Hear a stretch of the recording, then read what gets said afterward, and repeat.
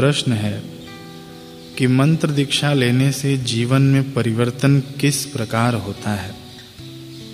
पूज्य बापू जी का उत्तर है, मंत्र दीक्षा का अर्थ है कि हमारी दिशा बदले, हमारा सोचने का ढंग बदले। मंत्र दीक्षा मिलते ही छो मंत्र हो जाएगा, ऐसा नहीं है। मंत्र दीक्षा मिलने से आपको धड़ाक धूम होके बस ढेर अशरफियाँ गिर जाएँगे, नहीं। मंत्र दीक्षा लेने से तुरंत ही आपके रोग भाग जाएँगे, आपका दुख भाग जाएगा, आपके पाप भाग जाएँगे, आपको भगवान मिल जाएँगे, ऐसा नहीं। बल्कि मंत्र दीक्षा लेने से दिशा बदलेगी। बेवकूफ़ी बदलने के बाद सारा बदला हुआ प्रतीत होगा।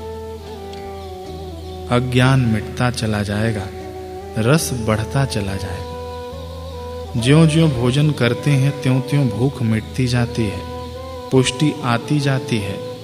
ऐसे ही मंत्र का, ध्यान का अभ्यास करते-करते सुख की भूख मिटती जाएगी। सुख भीतर प्रकट होता जाएगा, और जो भीतर सुख हुआ तो बाहर किस बात का दुख? इससे बड़ा लाभ और हो क्या सकता है? छू मंत्र करके लॉटरी से जो रातों रात मालदार होते हैं, वे भी अशांत हैं, और जो रातों रात कंगाल होते हैं, वे भी अशांत हैं।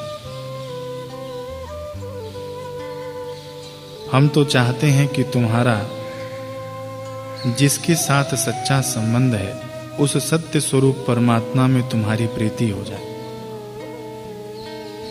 उस सत्य स्वरूप का तुम्हें बोध हो जाए, आनंद आ जाए तो असत्य परिस्थितियों का आकर्षण ही न रहे। यह मिथ्या संसार तुम्हारे लिए खेल हो जाए, खिलौना हो जाए। मुक्ति और स्वर्ग भी तुम्हारे लिए नन्हे हो जाएँ, ऐसे आत्म स्वर्ग का द्वार तुम खोल दो बस। मंत्र बड़ी मदद करता है मन बुद्धि को बदलने में। और मन बुद्धि बदल गए तो महाराज, शरीर के कण तो वैसे भी सात्विक हो ही जाते हैं। और शरीर के कण सात्विक हुए तो रोग दूर रहते हैं। सुमति के प्रभाव से रोजी रोटी में बरकत आती है, अपयश दूर होता है। यश तो बढ़ता है, किंतु यश का अभिमान नहीं होता। भगवान की कथा और भगवान का दैविक कार्य प्यारा लगने लगता है। इस प्रकार के 33 से भी अधिक फ़ायदे होते हैं। दूसरा प्रश्न है कि पापी और पुण्यात्मा मनुष्य की पहचान क्या है? पापी मनुष्य की पहचान है, पूज्य बापू जी का उत्तर, पापी मनुष्य की पहचान है कि आत्मा का ख्याल नहीं। नश्वर शरीर के भोग विलास में जीवन को खपा दे। जीवन की शाम होने के पहले जीवन दाता को पाने का पता न पाए। किए हुए गलत निर्णय, गलत आकर्षण, गलत कर्म का पश्चाताप नहीं करे। और जीवन भर उसी में लगा रहे यह पापी मनुष्य की पहचान है। आत्मशक्ति का अंतर की प्रेरणा का नश्वर शरीर के लिए, उसके ऐश के लिए खर्च करना यह पापी मनुष्य की पहचान है।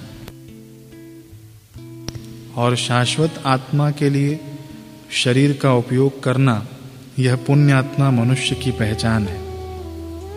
भाई, शरीर है तो चलो, इससे ज्ञान ध्यान होगा, इसलिए इसे जरा खिला दिया। ऐसा नहीं कि ऐश आराम चाहिए, सुविधा चाहिए।